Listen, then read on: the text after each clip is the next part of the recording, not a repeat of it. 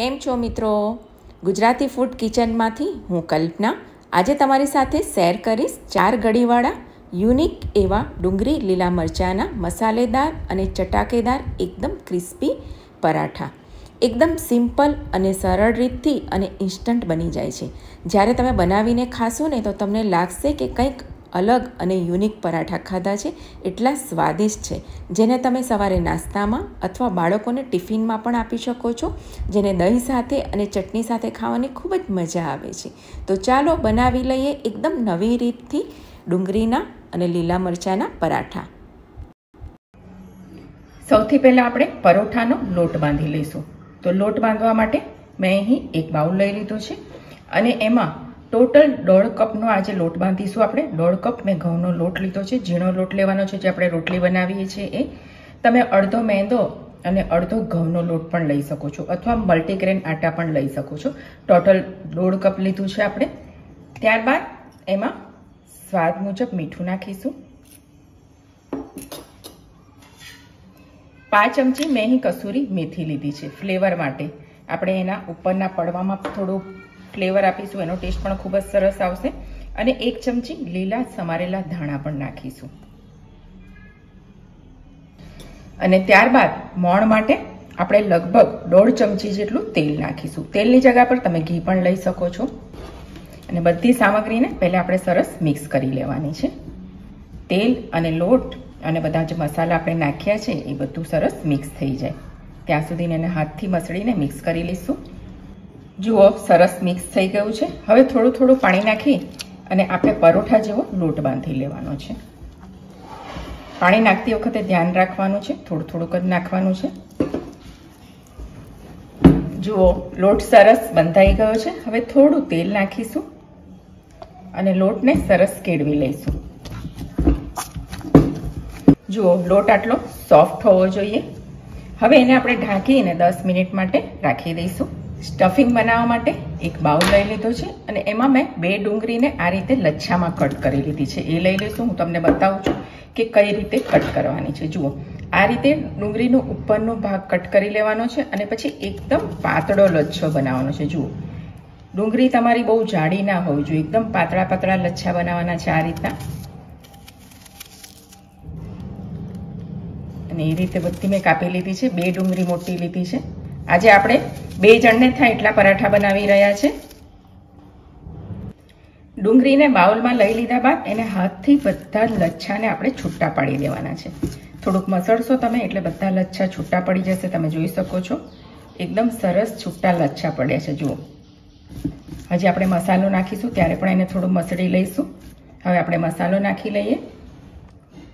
સૌથી પહેલે મેં અહીં કસૂરી મેથી લીધી છે. અડધી નાની ચમચી છે. ત્રણ લીલા મરચાંને ઝીણા સમારી લીધા છે. તે ખાસ તમે તમારા ટેસ્ટ મુજબ લઈ શકો છો. પરંતુ આ પરાઠા થોડા તીખા હોય તો વધારે સારા લાગે છે. એક નાની ચમચી વલિયારી લઈશું. એની ફ્લેવર ખૂબ જ સરસ લાગે છે. અડધી નાની ચમચી ચાટ મસાલો લઈશું. એનાથી એકદમ ચટપટા આપણા પરાઠા બને છે. એક મોટી ચમચી લીલા ધાણા સમારેલા નાખીશું. અડધી નાની ચમચી શેકેલા જીરાનો અધકચરો મેં પાવડર લીધો છે, એ નાખીશું. અડધી નાની ચમચી લાલ મરચાંની લાલ મરચાંનો પાવડર નાખીશું. પાંચ ચમચી ગરમ મસાલો નાખીશું. અને પાંચ ચમચી હળદર નાખીશું. અને બધા જ મસાલાને આપણે હાથથી સરસ મિક્સ કરી લેવાનું છે. મીઠું આપણે છેલ્લે નાખવાનું. જ્યારે તમે પરોઠા બનાવવાના હોય, ત્યારે જ આ સ્ટફિંગ તમારે રેડી કરવાનું અને મીઠું સૌથી છેલ્લા જ નાખવાનું. પહેલે નહીં નાખવાનું, નહીં તો ડુંગળી એનું પાણી છોડી દેશે અને પરોઠા વણી નહીં શકાય. જુઓ, સરસ મિક્સ થઈ ગયું છે. અને હવે એમાં આપણે મીઠું નાખી દઈશું. સ્વાદ મુજબ મીઠું નાખી દઈશું. કારણ કે આપણે ચાટ મસાલો નાખ્યો છે, એમાં પણ મીઠાનું પ્રમાણ હોય છે. અને ત્યારબાદ આપણે જે ડુંગળીનું પાણી હોય, એને બાઇન્ડિંગ આપવા માટે કે એને સુકાવવા માટે મેં અહીં પૌવા લઈ લીધા છે. અને પૌવાને થોડા હાથથી આ રીતે મસળીને લઈ શકો છો. તમે ગાંઠિયા લઈ શકો છો, તમે પાપડી લઈ શકો છો, અથવા તમે ચણાનો લોટ પણ લઈ શકો છો. અને પૌવાને આપણે સરસ મિક્સ કરી લઈશું. જેથી ડુંગળીમાં રહેલું જે પણ પાણી છે ને એ બધું સુકાઈ જશે અને આપણને પરોઠા વણવામાં ઇઝી થશે. અને થોડા હાથથી આ રીતે મસળી લેવાનું. એટલે પૌવામાં સરસ એનું પાણી પીવાઈ જાય. જુઓ, મેં સરસ મસળીને મિક્સ કરી લીધું છે. હવે છેલ્લે એમાં ખટાશ માટે હું પાંચ ચમચી જેટલું આમચૂર પાવડર નાખું છું. આ ઓપ્શનલ છે, તમને પસંદ હોય તો તમે નાખી શકો છો. પરંતુ થોડી ખટાશ હોય તો પરોઠા ખૂબ જ સરસ લાગે છે, એને પણ આપણે સરસ મસળીને મિક્સ કરી લઈશું. આપણું સ્ટફિંગ બનીને રેડી થઈ ગયું છે. હવે એને આપણે સાઈડમાં રાખી લઈએ. જોઈ લઈએ, દસ મિનિટ થઈ ગયા છે અને આપણો લોટ સરસ કેળવાઈ ગયો છે. હવે એમાંથી એક મોટી સાઇઝનો બોલ લઈ લઈશું. આટલા લોટમાંથી ચાર પરોઠા થશે. જુઓ, અને એને સરસ આપણે મસળીને સોફ્ટ કરી લેવાનો છે. લોટને સરસ આપણે લીસો કર્યા બાદ એને સૂકા લોટમાં આપણે રગદોડી લઈશું અને મોટી રોટલી બનાવવાની છે. બહુ જાડી નહીં અને બહુ પાતળી નહીં, એટલે આપણે જેમ રોટલી બનાવીએ છીએ એવી રીતે મોટી રોટલી બનાવવાની છે. આપણે રોટલી વણી લઈએ. જુઓ, મોટી રોટલી વણાઈ ગઈ છે અને તમે જોઈ શકો છો આટલી પાતળી તમારે વણવાની છે. હવે એમાં આપણે ચાર એને કટ આપવાના છે. ફક્ત એને માર્ક જ આપવાના છે. કટ નથી કરવાના. કે તમને ખબર રહે કે તમારે કેટલું પૂરણ નાખવાનું છે એના માટે. અને વચ્ચેથી ખાલી એક જ કટ આપવાનો છે. જુઓ આ રીતના. અને જે આપણે ત્રણ આપ્યા છે ખાલી માર્ક આપ્યા છે કે તમને ખબર પડે કે તમારે પૂરણ કેટલું મૂકવાનું છે. આપણે એક આ ચોરસ ભાગ છે, ચાર ચોરસ ભાગ છે, એમાંથી એક ભાગમાં જ આપણે પૂરણ મૂકીશું. જે ભાગમાં આપણે કટ કર્યું છે, એની બાજુના ભાગમાં આપણે પૂરણ મૂકીશું. જુઓ, હું તમને મૂકીને બતાવું છું.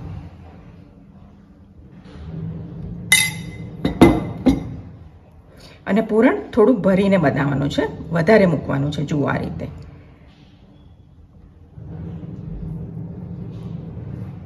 ચાર ભાગ છે. એમાંથી ફક્ત એક જ ભાગમાં આપણે પૂરણ મૂકવાનું છે. તમે જોઈ શકો છો. હવે જે ભાગ આપણે કટ કર્યો છે, એની ઉપર લઈ લઈશું. અને એને સરસ અહીંયાથી દબાવી દેવાનું છે. જુઓ, આપણા પરોઠામાં, પૂરણમાં મેં પૌવા લગાવ્યા છે એટલે સેજ પણ એમાં પાણીનો ભાગ નથી. પછી આ ભાગને આપણે ઉપાડી લઈશું આમ. જુઓ. થઈ ગયું. હવે આ ભાગ પર આપણે તેલ લગાવવાનું છે.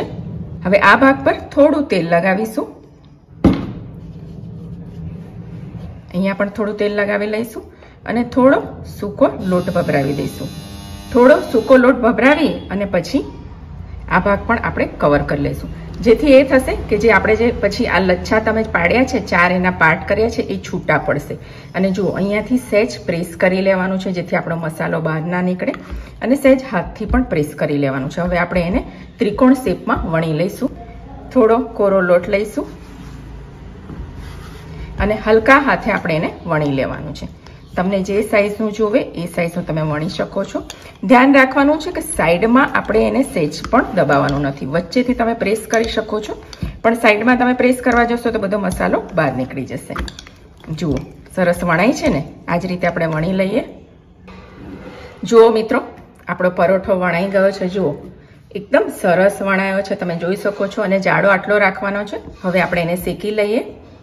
જુઓ, પરાઠાને શેકવા માટે મેં તવી મૂકી દીધી છે. એમાં એક નાની ચમચી તેલ નાખીશું અને તેલથી આપણે તવીને ગ્રીસ કરી લઈશું. તમે ચાહો તો ઘીમાં પણ ફ્રાય કરી શકો છો, ઘીમાં પણ શેકી શકો છો. એમાં આપણે પરાઠો મૂકીશું અને તેલને ચારે બાજુ આપણે સરસ લગાવીશું. એનાથી એવું થશે કે આપણી જે સાઈડ છે એકદમ ક્રિસ્પી થશે. અને એને મીડિયમ ફ્લેમ પર આપણે એકદમ ગોલ્ડન થાય ત્યાં સુધી ફ્રાય કરવાના છે. જોઈ લઈએ, એક સાઈડ સરસ થયું તેનું તમે જોઈ શકો છો કલર કેટલો સરસ આવ્યો છે. હવે આપણે બીજી સાઈડ પણ તેલ લગાવી લઈશું. અને એને પણ ક્રિસ્પી થાય ત્યાં સુધીને આપણે ફ્રાય કરી લેવાના છે. જુઓ બીજી સાઈડ પણ થઈ ગઈ એને પલટાવી લઈએ અને એના પર પણ થોડું તેલ લગાવી લઈશું.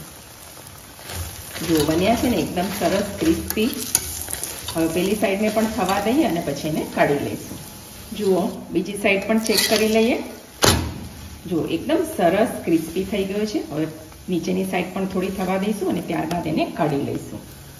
જુઓ મિત્રો, આપણા પરોઠા શેકાઈને રેડી થઈ ગયા છે. અને તમે જોઈ શકો છો. એકદમ સરસ કલર પણ આવી ગયો છે. આપણે એને પ્લેટમાં કાઢી લઈશું. અને જુઓ, એકદમ સરસ બન્યા છે. સરસ શેકાઈ ગયા છે, સરસ કલર પણ આવી ગયો છે. આ જ રીતે આપણે બધા જ પરોઠા બનાવી લઈશું. જુઓ મિત્રો, આપણા એકદમ ઝડપથી બનતા ડુંગળીના પરોઠા બનીને રેડી થઈ ગયા છે. ખાવામાં ખૂબ જ ટેસ્ટી હોય છે. તમે એને દહીં સાથે, ચટણી સાથે અથવા એમને એમ પણ ખાઈ શકો છો. ખૂબ જ ટેસ્ટી બન્યા છે. તમે જોઈ શકો છો. જુઓ, એકદમ સરસ બન્યા છે.